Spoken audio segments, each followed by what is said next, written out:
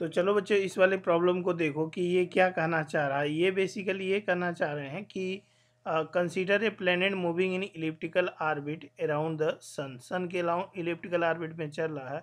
Work done on the planet by जब भी work done आएगा तो ये जो बाई वर्ड है, वो ज़रूर आएगा। बाई मतलब वो घर वाली बाई नहीं, ठीक है? तो वर्क डन बाई ज़रूर आएगा, ठीक है? कौन वर्क कर रहा है, किस पे वर्क कर रहा है, ये जानना ज़रूरी है।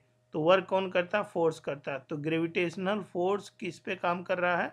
पार्टिकल पे। पार्टिकल कौन चक्कर लगा रहा है? Sun consider a planet moving in elliptical orbit around sun मतलब सन के अराउंड जो प्लेनेट है, उस पर ग्रेविटेशनल फोर्स कितना वर्क करेगा? तो यहाँ पे आर्बिट दिखाया गया है। तो ये ये अपना सन है और ये अर्थ है। ठीक है? तो सन और अर्थ के केस में अगर देखोगे अर्थ मतलब एक कोई भी प्लेनेट यहाँ करें एनी भी, कोई भी प्लेनेट हो, ऐसा नहीं कि अर्थ हो तो उस पर सन का वर्क डन मतलब ग्रेविटेशनल फोर का work done zero in small part of the orbit small part of the orbit zero होगा, या zero in some part of the orbit कुछ पार्ट में ज़ीरो होगा स्मॉल पार्ट मतलब छोटे से हिस्से में वर्क डन ज़ीरो होगा क्या? ऐसा बिल्कुल नहीं है। देखो वर्क डन ज़ीरो कब होगा? वर्क डन क्या होता? है तो work done is equal to force multiplied by displacement का डॉट प्रोडक्ट होता है। अब जो फोर्स और डॉट का डिस्प्लेसमेंट होता है एफ़ डी कॉस नाइन्टी। तो वर्क डन ज़ीरो होने के लिए या तो कॉस की वैल्यू नाइन्टी हो, या तो थीटा नाइन्टी हो तो वर्क डन ज़ीरो हो जाएगा।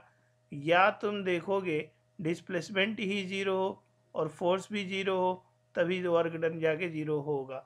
तो वर्क डन ज़ीरो होगा जब थीटा नाइन्टी होगा। थीटा किसके किसके बीच का एंगल है? फोर्स और वेलोसिटी और डिस्प्लेसमेंट के बीच का एंगल है।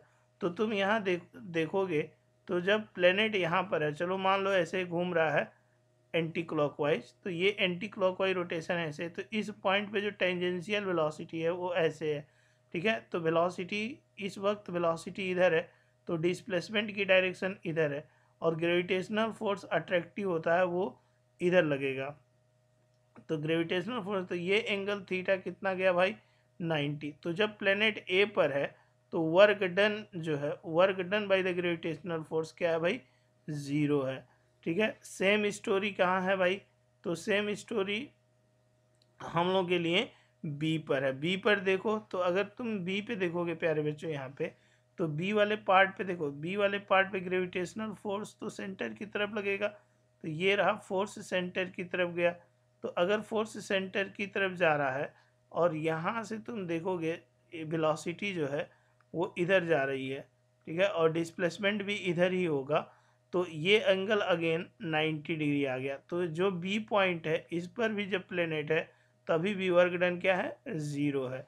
तो कुछ पार्ट मतलब ए और बी पे तो ज़ीरो होगा। बाकी किसी और पार्ट पे देखो, जैसे यहाँ पर है प्लेनेट तो यहाँ पर है तो यहाँ पर तो ग्रेविटेशनल फोर्स तो इधर आ जाएगा भाई। तो ये रहा अपना ग्रेविटेशनल फोर्स लेकिन जो लीनियर वेलोसिटी है, वो इस वक्त प्लेनेट की इधर आ जाएगी, ठीक है? तो इस वक्त जो है डिस्प्लेसमेंट इधर होगा और ये एंगल कुछ होगा 90 नहीं है।